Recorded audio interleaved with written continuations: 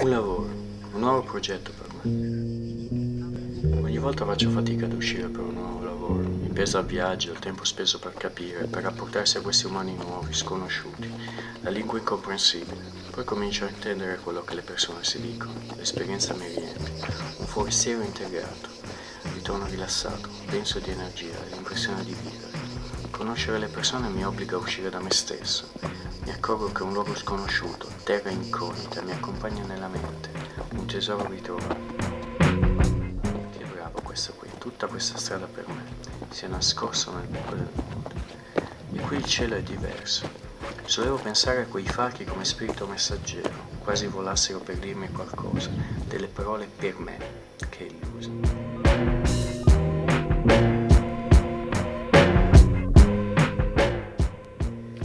Cielo è color televisore non sintonizzato, scompare nel buio dell'acciaio delle gallerie di città. Ritornavo a casa, emigrato per studiare, per lavorare, per fuggire al destino di mio padre. Non mi sono mai sentito a casa in alcun luogo. Rientravo per trovare mio padre, che assumeva la mia visita come medicamento al suo male e alla sua solitudine. Mi trovavo straniero in quella che fu la mia città, un tempo che mi sembra lontano. Un uomo vorrei tanto essere vecchio, restaurato da capaci architetti, secondo le norme di una rivista specializzata, a cancellare il disordine che era della mia adolescenza. Le persone parlano a largo nelle pronunce, come facevo io, prima che me lo facessero notare.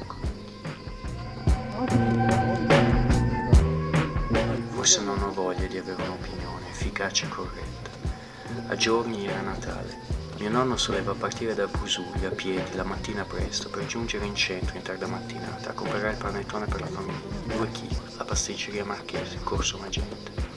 Mio zio continuò per una via più breve, solo una mezz'oretta, ed infine mio padre, che trovò nel testamento dello zio l'indicazione di una cifra da destinare al panettone per il futuro della famiglia. Non ho mai accompagnato mio padre nel tragitto familiare, mi rifiutavo. Solevo attenderlo da bambino, alla sera, seduto sul marciapiede della periferia. Non mi stancavo di aspettarti, papà. Tu arrivavi sempre col tram delle sei. Quando il sole imporporava le ultime case, uscivo ad aspettarti, mi fermavo a guardare le rotaie da dove sarebbe comparsa la lentezza della carrozza, che infine spunta, arriva quasi vuota. Scendono coppie, appannati lavoratori, un signore elegante, ma deve ancora scendere un passeggero oltre il bigliettaio. Aspetterò il prossimo treno. A piedi attraverso la città dovrei trovare la strada se cerco nella memoria. Gli occhi si induriscono nello smog. Devo stringerli. Le luci si clonano, si allonano come in un'inquadratura elettronica. Come faceva nonno a fare tutta quella strada? Non so neppure dove sia la sua casa. Mi sembra di ricordare fosse un capolinea della linea 7. Ho il negozio di fronte a me, ma il traffico è continuo, non riesco a vedere, a capire. Non capisco la via per arrivare là partendo da qua. Un uomo esce, tacchiato, un cappotto blu, un cappello umile in testa, il panettone, un pezzo immenso sulla mano, come fosse un cameriere nell'adempimento del compito. Il modo di camminare, i piedi leggermente rivolti all'interno, mi assomiglia. Cammina lungo le vie del centro storico, l'agilità goffa di chi conosce la via auto parcheggiate, la popolazione dello shopping che trascina dalle boutique, il rumore secco dei tacchi a spillo sul selciato, la mandibola ferma della donna che cammina indurita dall'attrito scortese delle calzature sul suolo anacronistico. Profumi intensi di lacche, di ammorbidenti per pelli anziane mi distraggono da quel puntino blu che cammina in fondo alla strada. Devo correre. L'omino blu passa attraverso il fiume, il centro storico restaurato. Si avvia verso la fermata del tram e un vecchio 4 si avvicina. Lo prende. Sono bloccato al semaforo da una stazione di autobus che partono tutti in direzione opposta. Un altro 4 si avvicina. Salgo. Il legno scuro degli infissi mi riporta un'aria di casa. È ora di punta, ma nessuno sale. Sono solo. Si intravede il berretto del vetturino dietro la porta di legno. Ricordo la mano che muove la cloche in modo incoerente con la direzione del mezzo. Non era un volante e io bambino non ne capivo la razza sottostante. Avrei voluto chiedere, ma dovevo scendere. Le curve fanno spaventare il vecchio acciaio che nitrisce di dolore per le lunghe strade. Sono al capolinea. L'ospedale bianco vi siede imperioso. Mio padre morì là. Stavo tornando a casa da una città provinciale qualsiasi dove si fanno i soldi dopo una notte. Mi aveva tenuto la mano, era fredda, teneva la stretta. Non era la prima volta. Avevo preso l'abitudine ad un viaggio precipitoso verso casa, poi la corsa in ospedale. Uscì come altre volte. Presi un caffè con brioche. Non lo facevo mai. Appena il tram cominciò la corsa cigolando mi chiamarono. Corri, torna, è morto.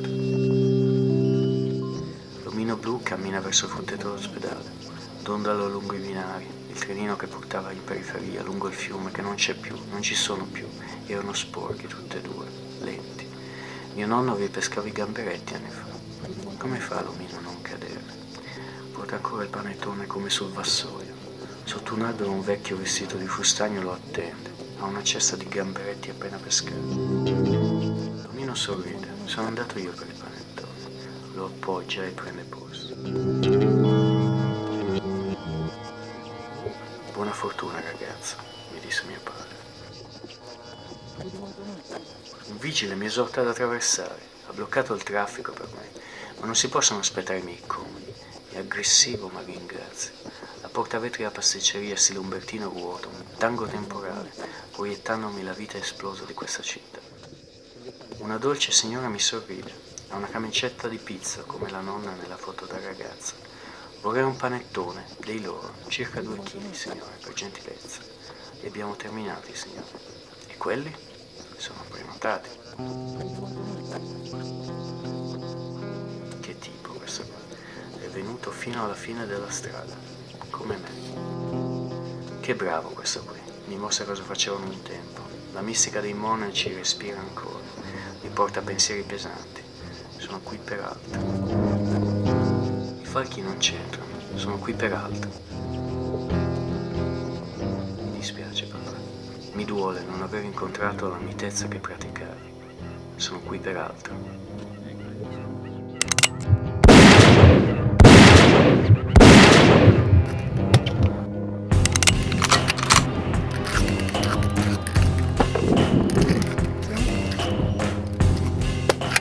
Bene, fatto.